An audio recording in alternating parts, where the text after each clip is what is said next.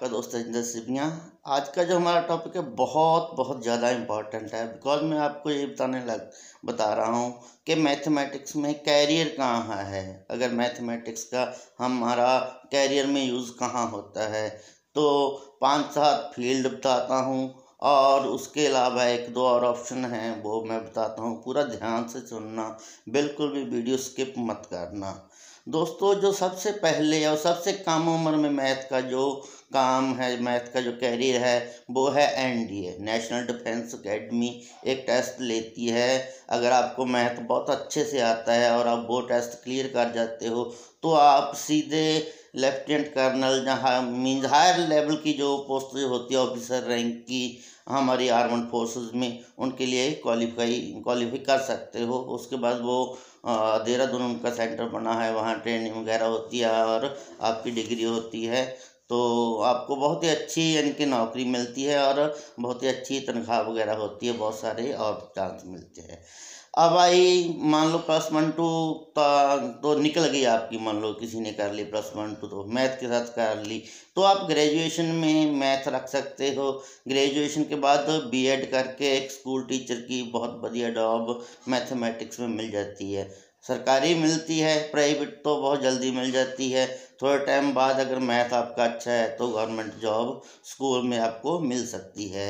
उसके बाद तीसरी जो बात है मैथमेटिक्स के कैरियर की, अगर स्कूल टीचर नहीं बनना है, आपने मैथमेटिक्स के इनके कॉलेज में या यूनिवर्सिटी में पढ़ाना है तो आपको एमएससी मैथ करनी होगी। एमएससी मैथ के बाद एक यूजीसी नेट का टेस्ट होता है।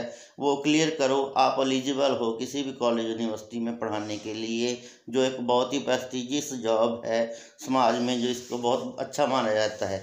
सबसे पहले असिस्टेंट प्रोफेसर बनता है आदमी, फिर एसोसिएट प्रोफेसर और प्रोफेसर बन जाता है बाद में।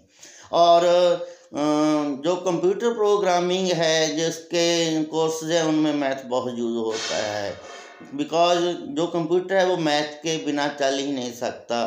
सो अगर बी सी ए करनी है आपने बी सी ए के बाद एम सी ए करनी है तो भी मैथ आपके लिए बहुत इम्पोर्टेंट टॉपिक है।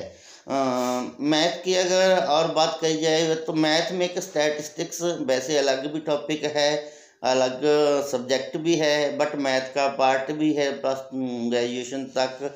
तो भारत में एक स्टैटिस्टिक्स सेंटर लेवल की एक संस्था है, जिसमें सीधे आप एमएससी मैथ करके अप्लाई कर सकते हो। बहुत बढ़िया जॉब अपॉर्चुनिटी है।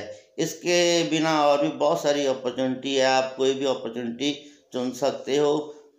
और लास्ट में ये बात कहूँगा कि अगर आपको मैथ अच्छा लगता है, अगर मैथ बढ़िया आता है आपको तो आप ज़िंदगी में कभी भूखे नहीं मरोगे। बिकॉज़ अगर और कुछ नहीं होगा तो घर पे ट्यूशन तो आप पढ़ा ही लोगे।